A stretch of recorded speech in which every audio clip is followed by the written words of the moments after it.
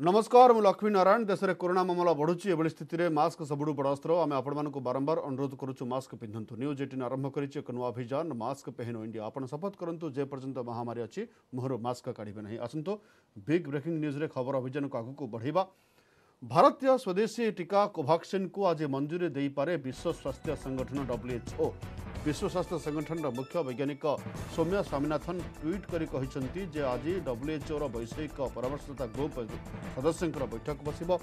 Bharat Biotech ଦ୍ୱାରା ପ୍ରସ୍ତୁତ କୋଭାକ୍ସିନ୍ ଟିକାକୁ ଜରୁରୀକାଳୀନ ବ୍ୟବହାର ପାଇଁ ଅନୁମତି ଦିଆଯିବ କି ନାହିଁ ତା ଉପରେ ଡବ୍ଲ୍ୟୁଏଚ୍ଓ ବୈଷୟିକ ପରାମର୍ଶଦାତା ଗ୍ରୁପ୍ ସଦସ୍ୟମାନେ ଆଲୋଚନା କରିବେ। ବିଶ୍ୱ ସ୍ୱାସ୍ଥ୍ୟ ସଂଗଠନର ଆଭିମୁଖ୍ୟ ହେଲା ପ୍ରତ୍ୟେକ ଦେଶ ନିଜ ନିଜର ସ୍ୱଦେଶୀ ଟିକା ବ୍ୟବହାର କରିବା ଉଚିତ। କିନ୍ତୁ ସେ ଟିକା ଡବ୍ଲ୍ୟୁଏଚ୍ଓର ଜରୁରୀକାଳୀନ ବ୍ୟବହାର ତାଲିକାଭୁକ୍ତ ହେବା ଦରକାର। ଡବ୍ଲ୍ୟୁଏଚ୍ଓର ଜରୁରୀକାଳୀନ ସ୍ୱାସ୍ଥ୍ୟ କାର୍ଯ୍ୟକ୍ରମ ନିର୍ବାହୀ ନିର୍ଦ୍ଦେଶକ ମାଇକ୍ ରିଆନ୍ କହିଛନ୍ତି ଯେ ବିଶ୍ୱ ସ୍ୱାସ୍ଥ୍ୟ ସଂଗଠନ ଯେଉଁ ଟିକାକୁ ଅନୁମତି ଦେଉଛି ତାହା ବିଶ୍ୱ ସ୍ତରରେ ବ୍ୟବହାର ହୋଇପାରିବ।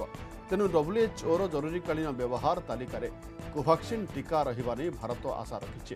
କୋଭାକ୍ସିନ୍ ଟିକାର ଗୁଣବତ୍ତା କୋଭିଡ୍ ପ୍ରତିରୋଧ କ୍ଷମତା ଟିକାର ବ୍ୟବହାର ପ୍ରକ୍ରିୟା ନେଇ ଭାରତ ବାୟୋଟେକ୍ ପକ୍ଷରୁ ଡବ୍ଲ୍ୟୁଏଚ୍ଓରେ ପର୍ଯ୍ୟାୟକ୍ରମେ ରିପୋର୍ଟ ଦାଖଲ କରାଯାଇଛି ଏହା ବାଦ ଡବ୍ଲ୍ୟୁଏଚ୍ଓ ଭାରତ ବାୟୋଟେକ୍ କମ୍ପାନୀକୁ ଆଉ କିଛି ତଥ୍ୟ ମଧ୍ୟ ମାଗିଛି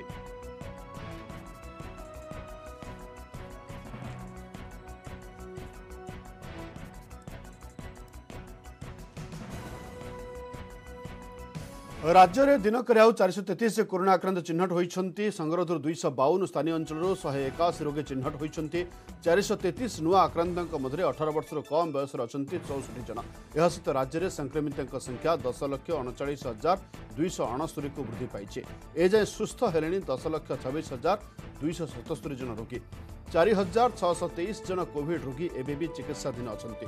ଖୋର୍ଦ୍ଧା ଜିଲ୍ଲାରେ ସର୍ବାଧିକ ଦୁଇଶହ ସାତ କରୋନା ଆକ୍ରାନ୍ତ ଚିହ୍ନଟ ହୋଇଥିବା ବେଳେ କଟକରୁ ସଇଁତିରିଶ ସମ୍ବଲପୁରରୁ ସତର ମୟୂରଭଞ୍ଜରୁ ପନ୍ଦର ଜଗତସିଂହପୁରରୁ ଚଉଦ ଜଣ ପଜିଟିଭ୍ ଚିହ୍ନଟ ହୋଇଛନ୍ତି। ସେପଟେ ରାଜ୍ୟରେ ଆଉ ଚାରି ଜଣଙ୍କ ଜୀବନ ନେଲା କିଲର ଭାଇରସ କରୋନା। ମୟୂରଭଞ୍ଜରୁ ସର୍ବାଧିକ ଦୁଇ ଜଣ ଆକ୍ରାନ୍ତଙ୍କ ମୃତ୍ୟୁ ହୋଇଥିବା ବେଳେ ଭୁବନେଶ୍ୱର ଏବଂ ଜଗତସିଂହପୁରରେ ଜଣେ ଲେଖାଏଁ ଆକ୍ରାନ୍ତଙ୍କର ମୃତ୍ୟୁ ହୋଇଛି। ଏହି ସହିତ ରାଜ୍ୟରେ ମୋଟ କରୋନା ମୃତ୍ୟୁ ସଂଖ୍ୟା ଆଠ ହଜାର ତିନିଶହ ଷୋହଳକୁ ବୃଦ୍ଧି ପାଇଛି।